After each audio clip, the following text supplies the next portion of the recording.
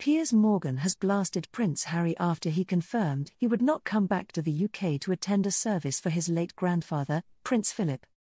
And it was only hours later that Firebrand TV presenter Piers landed blows on the California based royal, taking to Twitter to cast doubt over his commitment to the firm. He shared his thoughts with his 7.9 million followers on the social media site by quoting a tweet from ITV Royal editor Chris Ship and editing his own personalized emoji chose record of attendance at recent high profile events. Piers placed a tick emoji next to two rows titled Super Bowl and Texas Rodeo, and contrasted this with a red cross emoji next to one that read Grandfather's Service. It was a clear attempt to draw attention to Prince Harry's American priorities, and many in the replies appeared to agree with his assessment of the situation. One spared their thoughts for of the Queen on the upcoming anniversary of her husband's passing, writing, Very hurtful for him the Queen, but I'm not surprised. While another drew attention to Harry's recent furore over the lack of police protection for future returns to the UK, and commented, but if he is attending a royal event, he will be under their security, so what is the problem? Another penned, he will regret it someday. He needs to go visit his grandmother, period. He gave up his title, gave up his job, humiliated his family in front of the entire world. I have no sympathy for him. He gets what other civilians get.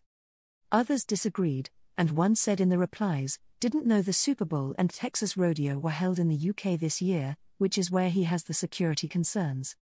Meanwhile, Meghan Markle's half sister Samantha Markle has filed a defamation lawsuit against Meghan, and the details are revealing. A body language expert explored Samantha's claims in the legal document about Meghan's lies, including her rags to riches narrative. Body language expert Jesus Enrique Rosas explored the lawsuit and how the legal action exposes Meghan's lies. Rosas explained Samantha is suing Meghan for all the damages that both Finding Freedom and the Oprah interview caused to her. He noted, and what's so interesting about this is that Meghan has just fallen into a double bind. According to Rosas, no matter which option you choose, you will be screwed either way. And that is exactly what is happening with Meghan and this defamation lawsuit. Rosas dug into Samantha's claims in the document. These illustrate Meghan has been trying desperately to put the rags to riches story, like she came from a struggling household, that she has to raise herself into the woman she is now, etc. He shared, the document is crystal clear about making a grocery list of Meghan's lies, including that she was forced from the age of 13 to work in a series of low paying jobs to make ends meet. She worked to pay for her Northwestern College education, and she had no siblings and virtually no contact with her family. Rosas pointed out how Meghan has been sharing a narrative about her past that's allegedly not totally honest. She has been trying to distort her own background over and over again to make it seem like she is part of some kind of modern fairy tale story, he said.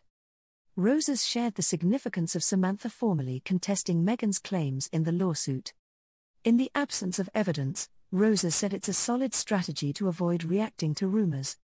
But in Meghan's case, not reacting will be all the more difficult since we now have dozens of photos that prove that she was not struggling.